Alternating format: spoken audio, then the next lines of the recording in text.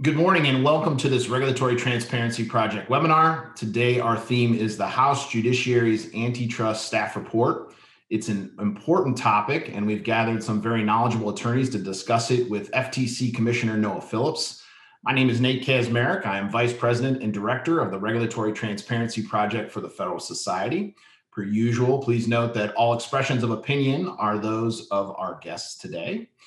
We are today we're mixing up the format a little bit, and we're pleased to have uh, Svetlana Gans and Koren Wong-Ervin to both interview Commissioner Phillips. Corinne is a, a partner at Axinn Veltrop Harkrider LLP. She previously served at the FTC as counsel for intellectual property and international antitrust and as an attorney advisor to Commissioner Josh Wright. Her experience includes representing defendants and plaintiffs in high stakes litigation and representing technology companies in domestic and foreign investigations. Svetlana serves as vice president and associate general counsel at NCTA, where she advances NCTA's policy positions on competition, privacy, and advertising issues before federal agencies and Congress. Previously, she served as the chief of staff for FTC acting chairman Maureen Ohlhausen. She currently serves on the council of the ABA antitrust section. If you'd like to learn more about all of our guests today, you can visit our uh, website, which is regproject.org. That's regproject.org, where we have uh, each of our guests' complete bios. In a moment, I'll turn it over to Svetlana, once our panel has had ample, ample time to pepper the commissioner with questions, we'll go to audience Q&A. So please think of the questions you'd like to ask. Audience questions can be submitted via the Zoom chat function at the bottom of your screen. With that, uh, Svetlana, Koren, Commissioner Phillips, thank you very much for being with us today. Thanks Great. for having me, Nate. Thanks so much, Nate. Um, so thank you, Nate, and thank you to the entire FedSoc uh, team, Colton and Braun, for your assistance today. And thank you also to Commissioner Phillips' staff, Anna, for all her assistance for today's event. I am honored to introduce FTC Commissioner Noah Phillips uh, for this fireside chat this morning. Commissioner Phillips began his term as an FTC Commissioner in May of 2018. Previously, uh, Noah served as chief counsel for Senator Cornyn of Texas on the Senate Judiciary Committee, where he advised the senator on a variety of legal and policy issues. Since joining the FTC in 2018, Commissioner Phillips has been an avid proponent of strong IP rights, the rule of law, and agency transparency. Commissioner Phillips has written extensively on whether it is time to rewrite the antitrust laws, and we hope to hear many of his thoughts this morning in conjunction with our conversation today. So, with that, I'd like to welcome Commissioner Phillips. Thanks, Svetlana. Great to be here with you. So um, Nate, Nate discussed a little bit of the format. Koren and I will be uh, asking the commissioner some questions about the House report. We encourage you to please utilize the chat feature if you have any questions. And we'll also take questions at the end of the program about 10 minutes to 12. So with that, I'll turn it over to Koren uh, to introduce the report. Great. Thanks, Svetlana, and thanks, Nate. Um, hello, everyone. I am Koren Wong-Ervin, and as just a little bit of background, on October 6th, the majority staff of the House Judiciary Committee uh, released about a 450 page report on antitrust. Now, the report is entitled Investigation of Competition in Digital Markets, but it's really important to take note that there's about a dozen recommendations that apply across industries not limited to digital markets. So these include things like interjecting vague and subjective standards such as democratic ideas into antitrust analysis, shifting burdens and creating presumptions of illegality for mergers and commonplace conduct, and even prohibiting beneficial product improvements, including for life saving drugs, when they would make it more difficult for rivals to compete. There's also a number of recommendations that extend beyond antitrust. So things like removing safeguards and lessening standards for class action litigation and prohibiting so called forced arbitration clauses in private agreements. So thank you, Commissioner Phillips, again for joining us and uh, for this discussion. And I will turn it back over to Svetlana to kick us off with some questions. Great, thank you so much, Koren, for that overview. Uh, so, uh, Commissioner uh, Phillips, I know you're going to give us your usual disclaimer at the beginning, but after you do that, uh, can you give us kind of a brief overview of your thoughts about the report? Sure. Thanks, Svetlana. The disclaimer being what I'm going to say is my view and, you know, not necessarily the view of the commission or my fellow commissioners. In terms of the report, I think I actually just begin as a former staffer. Right? I worked as a staffer on the Senate Judiciary Committee, not the House, for seven years. So I have some appreciation for the level of effort and thought that goes into a project of this size and scope. And it is a tremendous undertaking. I mean, the staff for the committee collected tons of documents. They spoke to lots of companies and experts. They convened really a wide ranging series of hearings, and they've come up with a tremendous piece of work product. So I just, I have to start by saying I think it reflects a lot of talent in execution. And as a staffer, a former staffer, I really appreciate that. That's not something that happens every day. And I, you know, I give kudos to to the folks behind it. Um, that takes vision and it takes execution, and those aren't always things um, in broad supply in the legislative world or, or even other parts of the world. Um, two other thoughts that jump to mind. First is that the report is one of a number of re- similar reports that have looked at issues in the digital economy. We've seen that in Australia. There's the Furman report out of the UK. Um, there's the Stigler report out of the University of Chicago here. The list goes on actually beyond those. Of course, the EU has been putting out lots of paperwork. One of the things that makes this one more interesting is I think it is a little bit more of an indictment in the sense that it doesn't spend as much time dealing with the positive aspects of the companies on which it focus on which it focuses and while all of these companies deserve scrutiny uh, for purposes of antitrust and other issues like privacy i think that um, understanding their position in the market um, and why they are so popular with consumers is a really important part of the story. And part of that understanding is understanding what they provide. And I think that that probably could have used a little bit more focus. But the thing that jumps out at me most and above all is the fact that the report focuses on four very large, very important companies. Um, but then it moves on from case studies of those companies to broad prescriptions for laws generally and reform of laws generally. And I do think that in order to get from a place of we saw this concern with one or even four firms, although these are four very different firms with different business models, to and so we need to do a fundamental change in the law that will affect all firms, I think requires more. Great, thank you, Commissioner. So let's move on to some of the specific proposals, uh, the, the broad-based ones like you mentioned. So one of the proposals is to ban firms with 30% or more market share from acquiring startups or nascent or potential competitors um, unless they prove a negative, right? Unless they prove that the merger will will not cause harm to competition. So it's a shift of the burden.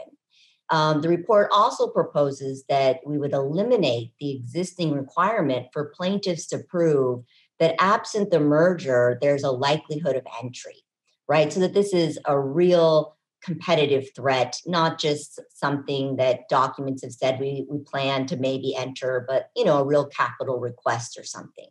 So I'd love to hear your thoughts on uh, the proposal and what you think might be potential consequences for business, for venture capital funding, for consumers, and for innovation? So, to some extent, these proposals remind me of the proposal not so many months ago from Senator Warren and Representative Ocasio Cortez uh, and Congressman Cicilline, uh, whose staff are the principal authors of the report that we're talking about today, to ban all mergers during the pandemic. Um, I wrote a bit and spoke a lot about why the factual predicate for such a ban uh, wasn't accurate, right? Merger filings were going down as they tend to do in a period of economic crisis, not rising. We weren't overwhelmed, which was the claim for why you needed an outright ban. But the way some of these proposals work, um, if you take into account how the agencies approach things like efficiencies today, which is, by the way, with a terrific amount of skepticism, um, what these amount to are real attempts to just chill M&A behavior in general um, and across a pretty, pretty wide swath of the economy. Um, and I don't think that's warranted. One of the things that concerns me when you talk about startups, in particular when you think about two areas on which we, the FTC, focus a great deal, and that is what we sort of colloquially these days call tech and biotech.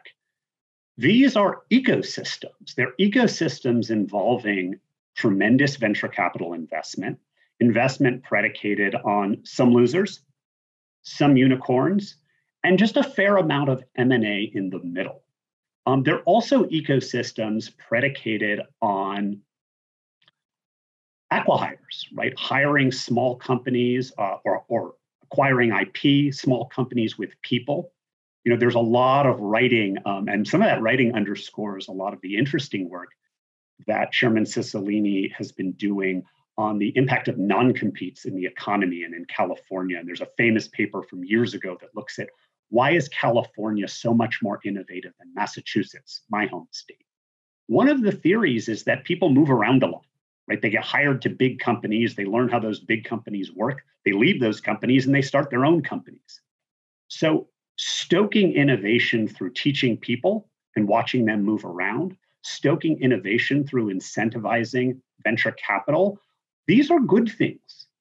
These are things that we don't want to get rid of. They've been part of America's economic success, not just in California, And I think that we need to be pretty careful when we start talking about shutting down the systems that have generated so much economic growth, not to mention, right, benefits for consumers and innovation and patients um, that all of us care about.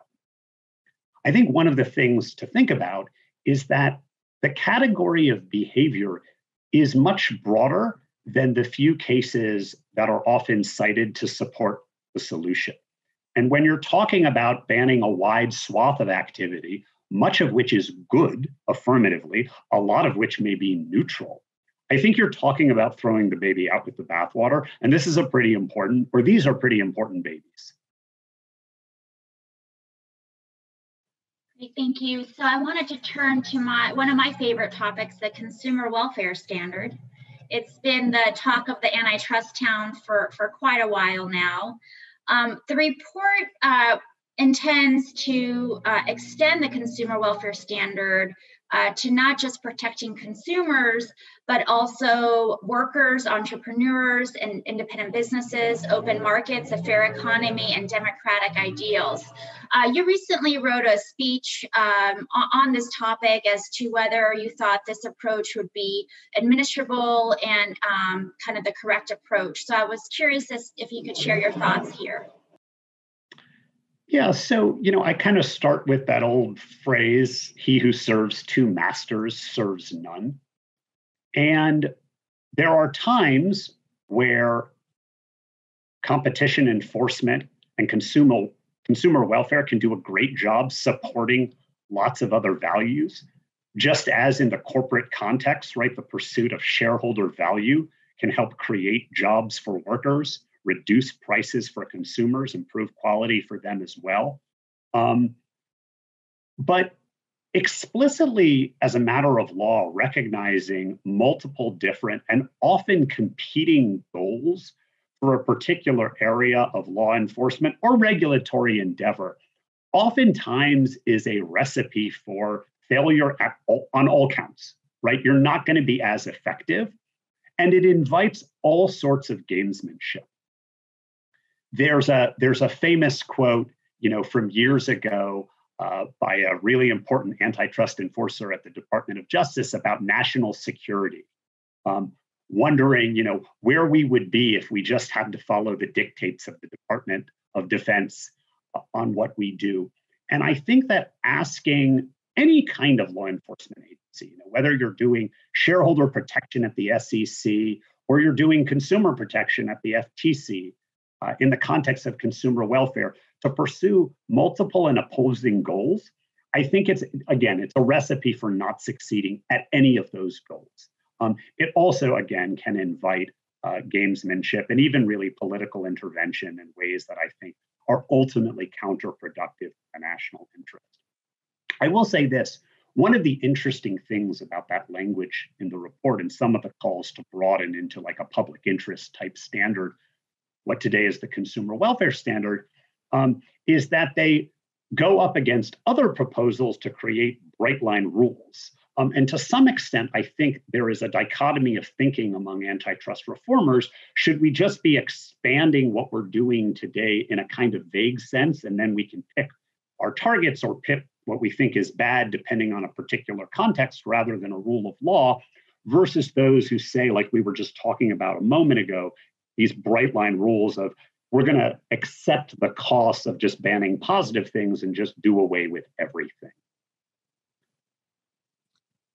Thank you, Commissioner. I, I, I, really appreciate your remarks. You know, when I think about antitrust and consumer welfare standard, I think about um, the fact that it gives it sort of it, it tethers antitrust to the methodological rigors of economics in terms of theories that can be tested and rejected right or tested and approved. And i don't know how you would test for employment versus consumer welfare versus you know all these different things. Um, so let's move on to or, uh, sorry i was just going to add you know there's an interesting corollary debate going on in the context of corporate governance today. Uh, you see this played out in statements back and forth uh, of the SEC commissioners uh, in, you know, promulgating business roundtable and responses to it. You know, should we stop pursuing the welfare of our shareholders and instead look more broadly? And I think it invites, well, first of all, I think that debate is coming to antitrust, but also I think it invites uh, the government in to sort of substitute its judgment for which stakeholders ought to win there in the context of corporate governance, here in the context of antitrust enforcement. Um, and I think there's a lot of mischief that can go on when we open that door. Yeah. And I think it's nice that this is one where we really have bipartisan support. I mean, when I was at the commission, uh, Chair, then Chairwoman Edith Ramirez gave a great speech in China, really talking about the lack of administrability and the um, the harm to credibility in antitrust, and also um, you know the risks of really harming consumer welfare, trading off short-term static for long-term dynamic. Um, so I'll just turn now back to one topic I mentioned in the intro, which is product design. So as I mentioned, the report would prohibit product designs um, that they say, you know, harm competition or harm what they call sort of the competitive process, regardless of the benefits to consumers. So, as we know, under existing antitrust law, um, courts are very reluctant to judge what is a beneficial product improvement, right? They say courts are generally ill equipped to do that. Um, so, they're very deferential and also recognizing the empirical literature um, that there's tremendous benefits from even incremental or small product improvements. Um, so I'd love to hear your thoughts on this and what you think might be possible ramifications for innovation and consumers. Sure. Let me get to the ramifications in a minute. You know, to me, this very much lines up with some of the rhetoric uh, that we hear on the left, but also on the right about corporate power, right? The idea that the existence and the success of large corporations, including their ability to innovate and to expand into new markets, is itself a problem.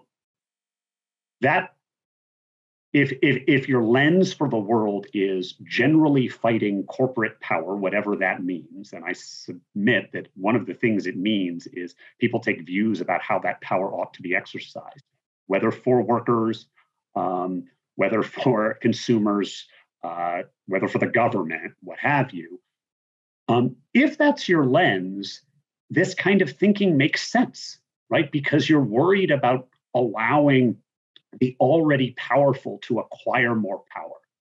The problem, though, that I think it presents is it is a kind of bar on allowing large firms to compete. And that competition, whether it's by small firms or large firms, uh, benefits consumers. It lowers prices. It adds to innovation. It may disrupt industries that are very much in need of disruption, right? Uh, it may allow us to deal with the negative effects of regulation, right, which has skewed markets in a way that hurts consumers. And I think that that is not a place that we should want to go.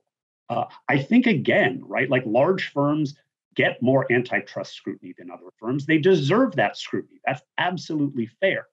But taking the position that they cannot innovate, right, they cannot design products in ways that hurt their competitors, uh, hurt their competitors, by the way, perhaps by gaining market share because what they're offering is better. I think that's the wrong way to approach the question.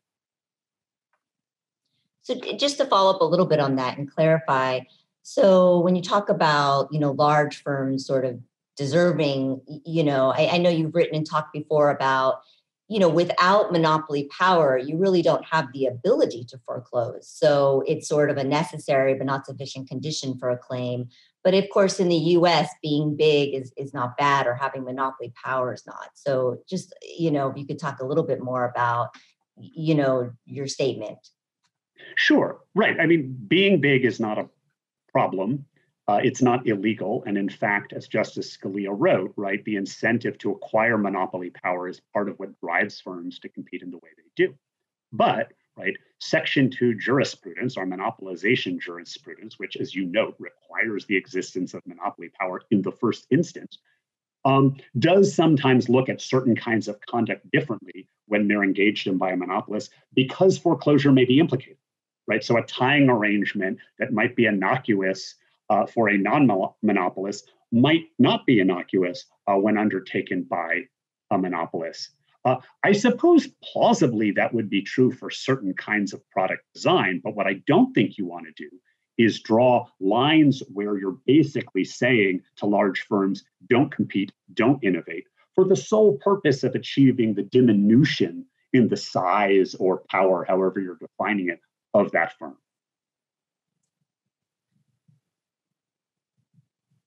Great. So, Koren, did you want to ask a question? No. Okay. Um, so I wanted to um, talk a little bit about um, rulemaking under uh, the FTC Act. Um, the report recommends that um, the FTC undertake rulemaking using its unfair methods of competition authority. Uh, the FTC hasn't promulgated competition rules in quite a while, um, although some within the commission currently, like Commissioners Chopra and Slaughter, believe that this is an untapped resource. Um, what is your view on FTC rulemaking authority under Section 5 unfair methods of competition, and what would be uh, potential limiting principles there? Sure. So, shortly after election night, I can't remember when, Zephyr Teachout, who was one of the witnesses at the final hearing uh, associated with the publication of the House report, a professor at Fordham Law School, uh, tweeted that now the Democratic focus would shift to the FTC. So I don't know exactly what Professor Teachout meant by that. Uh, what I do know is that we're uh, an agency, right, an independent agency within the scheme of the federal government. Um, we sometimes make rules but we're not a legislature, right? We're not supposed to be the focus of democratic action and political campaigns. Of course, right, we have comments that go along with rulemaking, not just rulemaking proposals, but also consents, and we listen to what folks say. Um, but where the behavior is legislative, it ought to be in the legislature. Right? That ought to be table stakes in our constitutional conversation. And so when I hear about proposals uh, to make competition rules, you know, some of the questions that I ask are, did Congress give us this authority in the first instance? And I think that It's a rare judge today who approaches the rulemaking question the way the DC Circuit did on consumer protection rulemaking in the 1970s in uh, National Petroleum Engineers. I might be getting the name of the case wrong. So it's a rare judge who approaches that question that way today. And I think we also need to take into account, given what we were just talking about, right, the notion that antitrust should serve all of these different interests simultaneously, the notion that it has no limiting principle, right, that it is this sort of generalized government warrant to fight against an ill defined power in the private sector. Where one's view of a law is so capacious, and my view of the law is not so capacious, but if that is your view of the law, I think this runs us right up into serious questions uh, about the non delegation doctrine. So I'll give an example. If you go back and you read Schechter Poultry, right, where that doctrine comes from, they are grappling with the New Deal which allowed the President of the United States to promulgate codes of fair competition. Now, the proposal is to allow the FTC, not elected, right, to promulgate rules governing unfair methods of competition.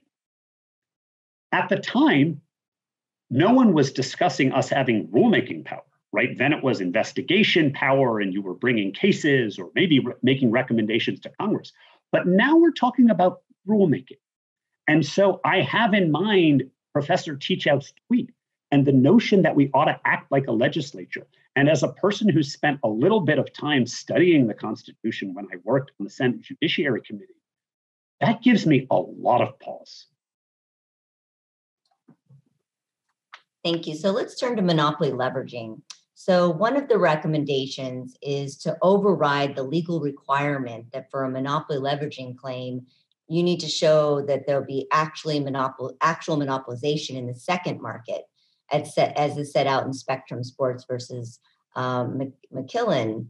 So I'd love to hear your thoughts on that. And you know, there's some case law even that talks about, like in the Ninth Circuit, that monopoly leveraging is not a standalone claim by itself. You know, you need like refusal to deal or or some other claim. And so, you know, the consequences of of lessening this for monopoly leveraging.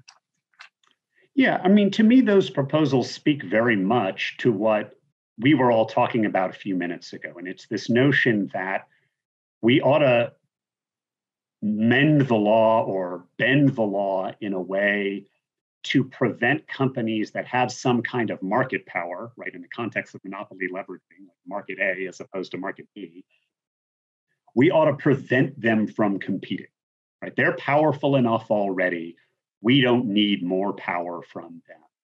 That's an argument. But what I think it puts squarely in view is the question of should there be a point of size or something else where you just want to stop a firm from competing more? And I think it raises that same set of questions about what about those consumers who benefit from that competition?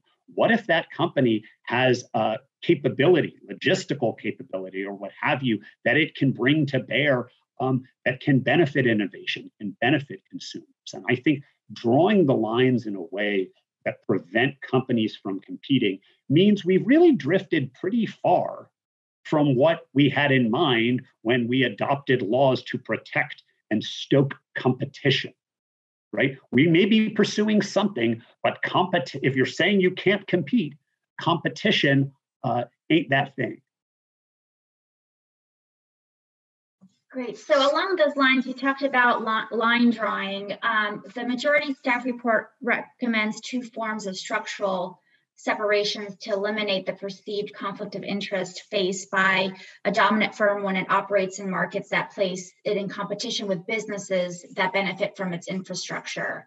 Um, Microsoft analyzed uh, structural separation, and the DC Circuit largely rejected that remedy in Microsoft. Um, the report, interestingly enough, uh, borrows heavily from from historical uh, regulation, for example, from the railroad industry um, and the airline industries, largely that have been outdated right now. Uh, what is your view of mandated Glass-Steagall's type of structural and business line separation as a matter of course? The first thing I'd say is it's important that everyone recognize the very mixed history of some of those regulatory schemes that were adopted to address concerns like this. I think it is fair to say that the history of railroad regulation in the United States is not a particularly good one. Um, and I don't know that it's a model that we really like.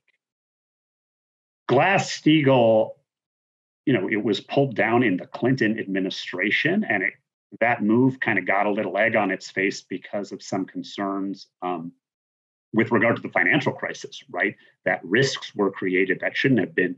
Those are not the concerns that are animated here. I think it's fair to note in having this discussion that this behavior, right? I'm going to speak in very broad strokes here, but having some sort of platform, competing on that platform, and maybe even preferencing yourself, um, at the very least, is fairly widespread in the economy. I go to Costco, go to Costco on the shelf, there's the Kirkland brand right next to the other brand that Costco is supplying. And I can look at them and I can evaluate their quality best I can. I can evaluate their price pretty easily. Um, and that's a pretty common thing that a lot of Americans deal with. And so I think the important thing here is to make that case for why, either for a small subset of firms or otherwise for all the many firms in the economy that engage in this kind of behavior, you know, where you have this alleged conflict of interest, why that's bad. I think that um, government attempts to structure industries often don't end up pretty well. I think it reminds me of when Senator Warren rolled out her plan to break up three large tech companies at an event. Can't remember exactly when it was, but I want to say it was 2019, maybe 2018. And a reporter came up to her at the press conference after the announcement had been made and offered the name of a fourth company. Well, what about Apple? Uh, to which she responded, Yeah, break them up too. I think we have to think with a little bit more care about what the firm is, what the conduct is, what is the industry that we're looking at um, before we arrive at pretty aggressive remedies to problems that don't necessarily present as problems in the first place. To be clear, it doesn't mean that you couldn't have harmful self preferencing, right? A mm-hmm. platform has opportunities to do things that other companies may not. And as I said before, monopolists, right, can engage in conduct that is otherwise okay, that is bad when a monopolist does it. But with that said, there's nothing to me that jumps out that makes all these firms common in a way that a common form of structural separation really would help.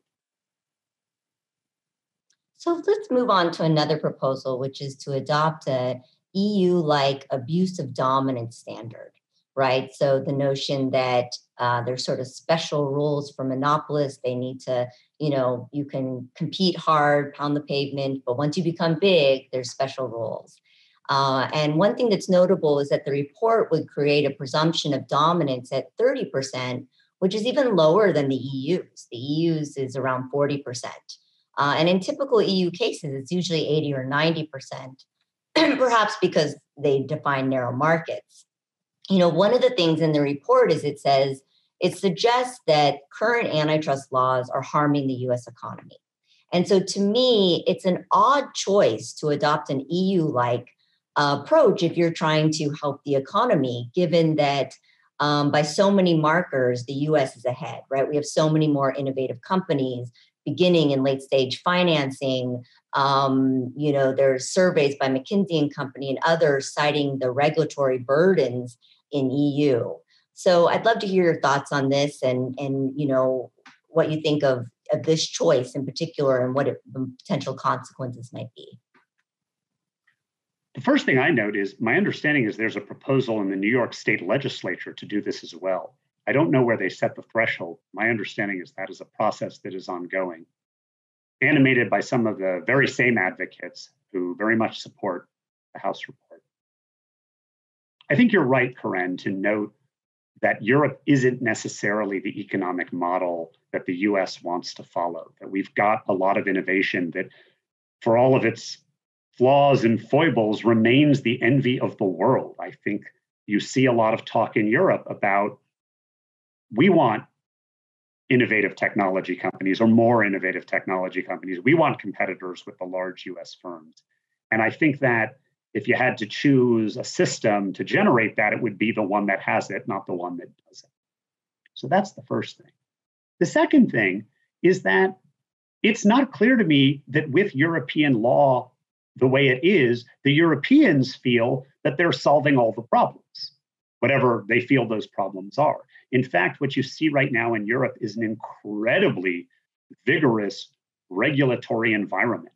Um, scarcely a month passes where some new proposal is not up at the EU level to adopt new laws. They're thinking about ex ante regulation. They're thinking about new methods for enforcing or new tools, they call them, for antitrust law. It's not clear to me that the abuse of dominance standard is doing the work that they want. So if you can't make an argument that it is correlated with the kind of innovation that you want, and you don't view it as solving the problem where it is operative, it seems an odd solution to whatever problems you perceive. And just a follow up question on that. So, one of the features of the EU like approach is they don't require actual competitive effects, right? They have a reasonably capable of standard that the conduct is capable of foreclosing, and then they have an inference that substantial foreclosure of an equally efficient competitor could harm.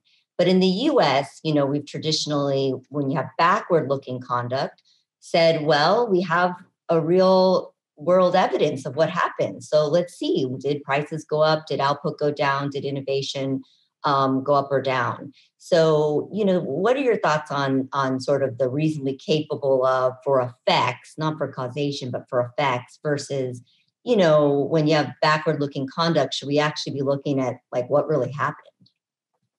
The short answer is yes, we should.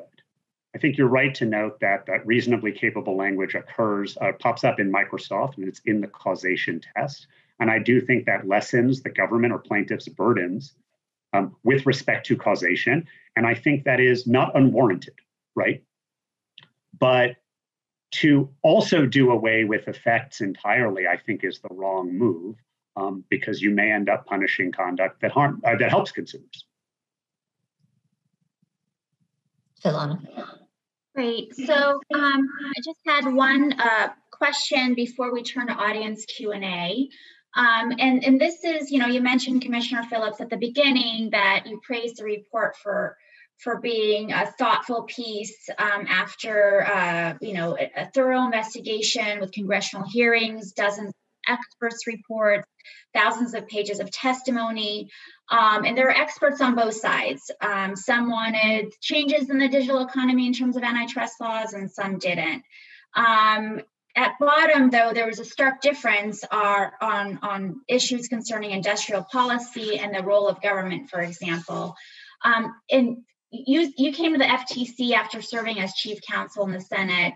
Um, and I was just curious, wearing wearing your your former staffer hat as well as an FTC commissioner hat, where do we go from here in light of all of the differing opinions um, expressed throughout the congressional uh, hearing process on this issue?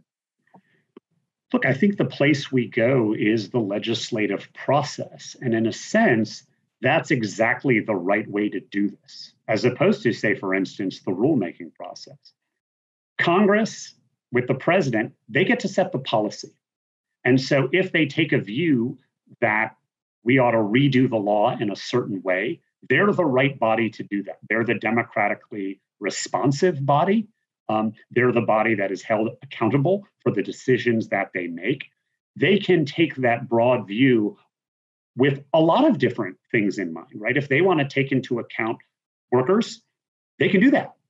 Um, that's absolutely within the policy-making purview of the legislature. Where exactly we're going to end up, I'm a terrible prognosticator when it comes to what legislation will be adopted. The one thing I always tell Congress when I'm testifying, and I think is really important to keep in mind, is that you want to focus on what the harms are that you're solving. Too much of the debate about tech is a lot of different issues that bleed into one another. So someone will be concerned about a content moderation decision and they'll say, break them up without a real grappling, I think, with, well, how does a breakup solve that problem? By the same token, privacy, right? We have a lot of concerns about privacy with big tech companies, but also small companies. I think those are valid concerns. We ought to talk about them. We ought to legislate on them. But just assuming that competition will solve all the problems isn't always true for things that are not borne out by market forces. And so I think part of what Congress has to grapple with is are we thinking about this as a competition issue versus some other kind of issue that we as Congress are perfectly entitled to legislate on? So before we go to Q&A from the audience, I just had a follow-up question. So, you know, with respect to the the clearly a lot of work that was done on this, you know, some people would say that it's a lot of anecdotal evidence or you know citing studies on one side without the critique. So for the merger proposals the only study cited is the Kwoka one you know which has been widely criticized right including by chairman simons um, and of course the, the excellent work of mike Vita and his colleague at the ftc so some would say you know it's a it's one-sided right? And um, and maybe cherry pick some evidence so for example when they're saying that entrepreneurship is down they cite data from the dot com boom uh, through the Great Recession. And so, you know, for me, there's always a difference between a long report and and clearly hard work, I'm, I no doubt, and and a, and a balanced report. Yeah, and I think I used the word indictment earlier, right, with respect to certain firms. I think that there's a lot of people uh, taking issue validly with a lot of underpinnings. You know, I, for one, would like to hear more legislators recognize that the data on falling innovation is not remotely as clear. In fact, it may be contrary, right? There's tons of money coming at companies at different stages of development. We can talk about why. We can talk about why we're moving to private markets as opposed to public offerings, why SPACs are hot right now, a lot of related issues. So I think that it is very fair, you know, to, to make those criticisms. Absolutely. What what I meant to begin with, though, is as a staffer, I do think, you know, in terms of forming a political narrative, I, I don't agree, obviously, with everything in the report, but I think that they've done really good work advancing their view of the world. I don't share that view. And I think we ought to have a real debate. That's part of what the legislative process is for. But I don't think uh, I think it is fair to say that the authors um, worked very hard and produced a product that helped advance their vision. So my very last question is, you, you know, so to me, when you have you know thriving innovation and in some markets exponential output growth from certain acquisitions you know the burden is really on the party that wants to radically change antitrust to prove that we have some sort of a problem you know in search of a solution and so you know we've talked about this on another panel on, on potential competition and i've written a lot about it kind of looking at the studies that are pointed to um, I think mostly they're pointing to theoretical, and of course, theory is important, but it doesn't tell us anything about whether we have systematic under enforcement and harm to competition. So I'm wondering what you think about the available evidence. Is there sufficient evidence we have a problem? Um, do we need more? I want to step back for a minute and make the following claim, and people can quibble with it if they want to. We talk a lot lately in the US about this shift that happened in the late 70s and early 80s, uh, combination of jurisprudence and economic learning and enforcement priorities in the Reagan administration. And the claim is generally made that this was some sort of bad shift in antitrust enforcement. And this ended us up in, you know, whatever the claim, horrible situation we now inhabit it's not clear to me that all the things that have happened since then in the economy, in particular, some of the target areas here, are all that bad. The US has been terrifically innovative. We've seen a lot of growth, including of startups. Those are things that need to be taken into account in moving forward with how we rejigger the law, if we're going to rejigger the law. My preferred approach is to identify areas where it's clear we have problems and try to figure out what the best solutions are. Sometimes those are solutions that are going to be arrived at through the legislative process. They may even be related to competition law. I'll cite an example. Sometimes you'll hear my colleagues complain when we settle an antitrust action that we're not litigating enough. What I think that critique neglects is the fact that Congress was really concerned about messy litigation and breakups in the 1970s when they adopted the Hart Scott Rodino reforms to antitrust law.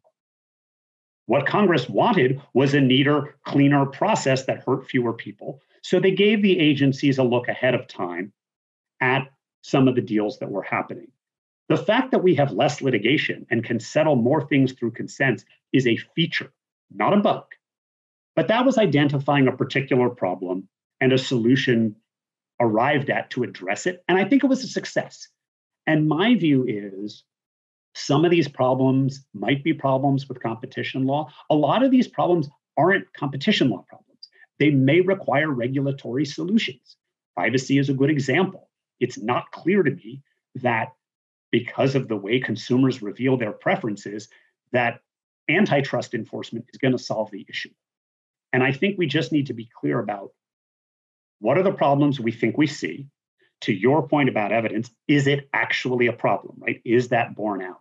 Speaking in 90,000 foot generalities about corporate power don't do that work. Great. So um, I think uh, we could turn to audience questions. We have uh, two questions so far. And uh, folks, if you do have a question, please um, please go to the chat. But let's ask the first two questions that we have. And, and uh, the, this one, kind of along the lines of what we're discussing. The question is, my basic hope is that these horrific proposals get bogged down in the legislative process and don't go anywhere. But my fear is that there might be a bipartisan push for some reform because conservative populism is sympathetic to some of this. That might be the end of the golden age of antitrust. Do you have a sense of the politics of the issue? I mean, I think populist politics are part of this. Uh, this is not new to the American experience. Concern about, frankly, corporate power are not new to the American experience. That's some of what animated the Sherman Act in the first place. It's some of what animated the Clayton Act and the FTC Act and the Wilson administration, right? The statutes that I spend a lot of time enforcing. And I think that's part of what we see today. Bill Kovacic has a great paper in 1989 about kind of waves in antitrust and the politics that they followed. And if you read that paper from 1989, 31 years ago today, it very much looks like the present.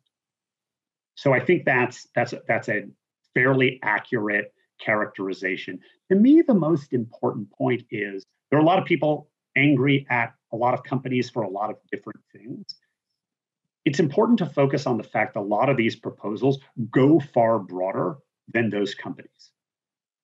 And to the extent you're predicating a broad based legal change on a particular issue that you have, I do think the burden is on the proponent to demonstrate why we ought to effectuate that change more broadly with all of the consequences that that may have. So, another question we got from the audience is um, in the example of the Costco and self preferencing harm, how do you view the argument which posits in digital markets and traditional stores uh, that digital markets and traditional stores have different market structures due to network effects? Um, uh, does this parallel formalistic but uh, not functional? So, you know, are these markets different, right? Basically, you know, we saw that the ICN has a new report on this, and some people say, oh, it's just so different, right? We got to have special rules. You know, with other people saying, well, you know, network effects can cut both ways. It's not, we don't need to throw out everything, like you said earlier. So, what are your thoughts on on that? So I think you know it's fair to identify network effects as something that happens in certain kinds of markets with profound implications for how competition looks. That is an absolutely fair position to take, and I think to neglect the existence of network effects, uh, we'd be remiss. Those network effects can operate in beneficial ways as well. I suspect, for instance, that if let's say you know Amazon Prime or just the Amazon website were not as popular, that many of the small sellers that gain access to markets through that would not be as benefited were it not for network effects. And whether those network effects are direct, meaning your utility in using the thing is greater because of more people using it, or indirect, the utility of an advertiser is greater because more people use the product and thus you can push advertising to them. It's a much more fact specific question than simply saying network effects. And so this or that solution. Great. So one other question um, we received, and, and you, you talked a little bit about it, and Koren did too, but the question says both the Cicilline report and Chairman Simons have been signaling increasing worry about the acquisition of nascent competitors. Do you share their worries that this problem is growing and an area deserving of more scrutiny? Let me start with the second part of the question. I do think this area is worthy of real scrutiny, right?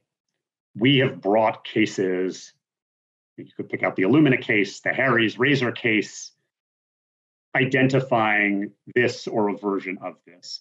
There is really important literature in the pharmaceutical space about killer acquisitions, uh, which are a subspecies of nascent or potential competitions, where the effect of the acquisition is apparently to take the thing off the market, right? It's an absolute reduction in consumer welfare. So I think that's an area that we're scrutinizing more that we should be scrutinizing more, and maybe our error cost framework is shifting a little. But I want to come back to something we were talking about earlier, and that is startups. Overcorrecting in this space uh, presents a real threat as well. And I don't think we should neglect the value to consumers, to competition, to innovation, to American competitiveness of the incredible market that we have investing in startups it's great to live in a country where it's not hard to find capital. For the most of world history, that has not been true. It's not even true in advanced capitalist democracies. We certainly don't need the government to be a, or want the government to be the principal backstop for providing capital at risk to businesses. You can imagine the disaster that that might be. And so when we think about these issues, and we need to be thinking about these issues, I do think we want to be very wary of overcorrecting. Another question we got was Do you believe that non structural remedies, such as firewalls or common ownership theories, are still susceptible to similar concerns about chilling innovation? Um, that's an interesting question.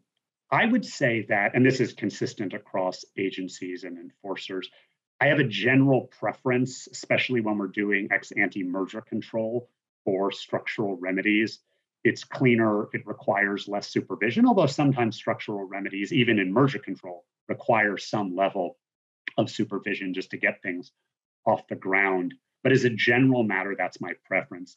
I'm hesitant to shut the door absolutely to behavioral remedies because I think there may be times where a structural remedy, for whatever reason, just doesn't work and you can still preserve value in the merger. Sometimes we have to go to court um, to block things entirely where there's no problem. But definitely the preference is on the structural side for ex ante merger review. So a follow up question to that do you is is to me there's a little there's a difficulty sometimes with defining what is a conduct remedy right? So some people have said we don't really like behavioral or conduct because it's more regulatory and requires ongoing um, overview. But for me in the at&t time warner the arbitration remedy that was proposed doesn't require that ongoing sort of regulatory right? It was an independent tribunal that would be deciding so, you know, any thoughts about like how do we decide and um, and and with structural remedies is you know your answer sort of the same when it's long consummated. You know, ten years ago, DoubleClick. Should we still you know do structural breakup only? So I was, I think the preference that people articulate is is in particular with respect to ex ante merger review, right? It's sort of giving effectuation to Congress's vision and Hart-Scott-Rodino that we settle as best we can things rather than having messy court fights. The longer on you go in time, the longer the court fight takes, um, the less confidence you probably have that a structural remedy will work. There may be integration that you're getting rid of and consumer loss. And you probably run up, Koren, into where you began your question with something that looks a lot more behavioral than it does structural, right? Because the process of just breaking things apart, it's not so easy. And the record on that by US enforcers is spotty. I gave a speech about that like a year ago, or probably more than a year ago at the Hudson Institute. And you know, it, it kind of walks through two of the famous examples of st- structural breakups much later on in the process.